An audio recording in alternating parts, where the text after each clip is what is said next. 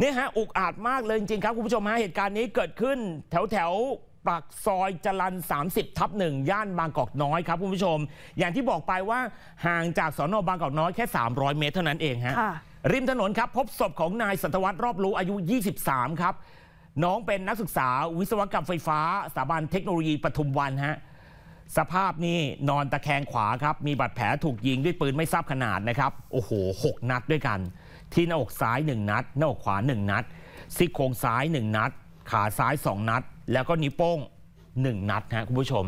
นี่โดนกระหน่ำยิงเต็มๆเลยทีเดียวนะฮะใกล้ๆกันครับเจอมอเตอร์ไซค์ของน้องครับล้มคว่ำอยู่นะครับมีรอยกระสุนทะลุ 1 นัดนะครับแล้วก็พบหัวกระสุนไม่ทราบขนาด 3 หัวตกอยู่ครับ สอบถามครับ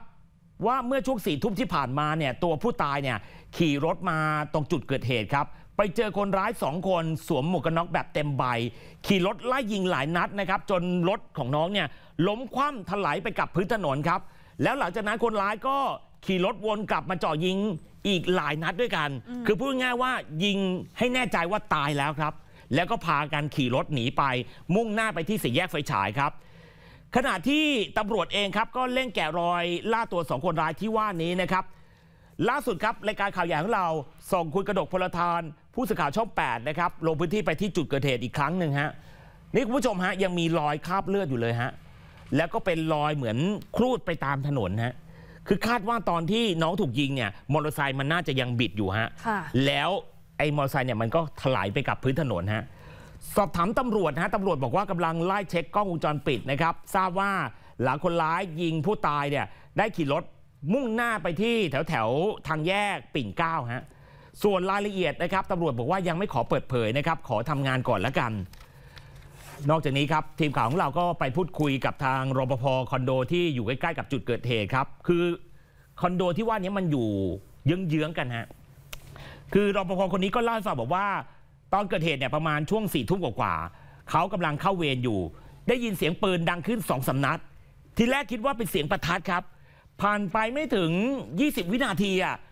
ได้ยินเสียงปืนรัวดังขึ้นมาอีกประมาณ4ี่ห้านัด ก็เลยแน่ใจว่าเป็นเสียงปืนครับ ก็เลยทำให้ตัวรปภคนนี้กับลูกบ้านเนี่ยวิ่งหนีเลยทีเดียวฮะคุณผู้ชมฮะไปหาที่กำบังเพราะว่าตกใจครับกลัวจะถูกลุกหลงพอเสียงปืนสงบลงปุ๊บเนี่ยก็ไปดูเห็นว่าผู้ตายเนี่ยนอนแน่นิ่งอยู่ที่ริมถนนแล้วครับผมนั่งอยู่ในป้อมกับลูกน้องอีกคนได้ยินเสียงกี่นัดครับพี่สี่ครั้ง ผมคิดว่าเด็กจุดประทัดเล่น พักหนึ่งมันก็ได้ยินเสียงเพิ่มขึ้นอีกก็เลยลุกขึ้นเดินออกมาดูแต่ก็ไม่กล้าออกไปกลัวมันอยู่ใกล้เสียังมันสมัครเหมือนกันมันไม่ใช่เสียงประทัดชาวบ้านแถวนั้นผวาเลยฮะคุณผู้ชมฮะเพราะว่าคนร้ายอุกอาจเหลือเกิน ไม่เกรงกลัวกฎหมายเลยครับเลือกก่อเหตุในช่วงที่แบบว่าห่างจากโรงพักแค่ประมาณ 300 เมตรเท่านั้นเองอะคืออันนี้ไม่ได้ไปโทษตำรวจอะไรทั้งสิ้นฮะเพียงแต่บอกว่าคนร้ายเนี่ยเหมือนโอ้โหโหดเหี้ยมเหลือเกิน ไม่กลัวกฎหมายด้วย ไม่กลัวทั้งทั้งๆที่รู้ว่าเฮ้ย พอยิงเสร็จปุ๊บเนี่ยตำรวจอาจจะตามมาจับได้ค่ะแต่ไม่สนใจอะไรทั้งสิ้นเลยทีเดียวนะครับข่าวช่อง 8 ครบเครื่องเคียงข้าง